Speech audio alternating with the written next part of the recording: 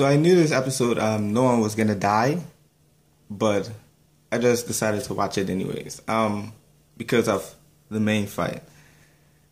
Meliodas versus Ban. Um, it wasn't what I was expected because um they hyped it up through words and it didn't deliver at all.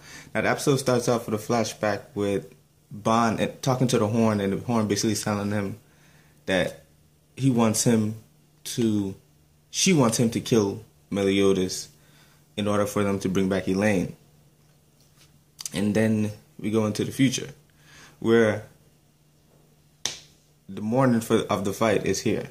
And um Ban heads over to the meeting spot which is behind the mountain and to his surprise Meliodas is there waiting for him. I knew that was gonna happen too. but I didn't know that everyone else was gonna be there because they all took it as a festival. They didn't take it as a fight to the death. And apparently Merlin was the um kind of like the the judge of the whole situation because she basically stated the rules that it has to be a fight to the death if they don't agree on anything. And first of all, they didn't live up to the rule of fight to the death. Um, I don't know if they're just playing on the title itself to hold the show. I don't know, but either way, I definitely do think that they can't keep playing us for long.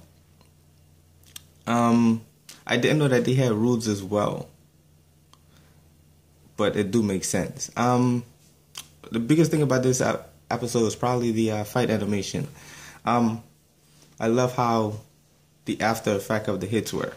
Like you didn't see the hits land, but you saw the results. And uh, by far the funniest part of this episode was um, Gilthunder's reaction to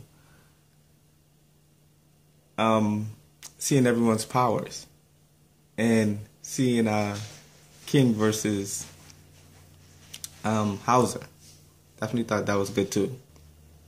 Also, um, we get into the serious part of the fight where Ban stole everyone's weapon, everyone's energy, and uh, Meliodas uses his trump card, which is uh, there's no name for it now, but either way. So after Ban steals steals everyone's uh, energy, he basically takes like 50% of, from everyone. And basically after he he took that, uh, by far the funny funniest part was uh, Hawk.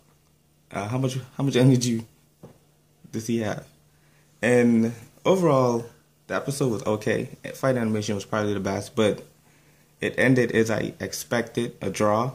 Didn't expect one of them to die. I'm guessing it would have taken meaning from the whole seven deadly sins. And um, episode ends off with um, uh, Meliodas telling Ban that he smashed the horn. uh, how could I forget the king? The king had a uh, nightmare slash vision, and I'm guessing that relates to the title of the show, Signs of Holy War. I'm guessing it has something to do with that because the king obviously sees something coming. And also, Merlin. Merlin in this episode was like beastly. She was like manipulating powers, everything. Like I'm wondering what else does the other sins have up their sleeve? Because um we obviously didn't see them use their full powers yet or use it against one another one another yet. But obviously we're gonna I hope we can see what they're really capable of and how they got their names and their powers. Definitely looking forward to that. And what else? Hmm. And that's about it. Um, I really enjoyed this episode. The fighting part was the best, but I didn't think that they delivered on the end result where someone had to die.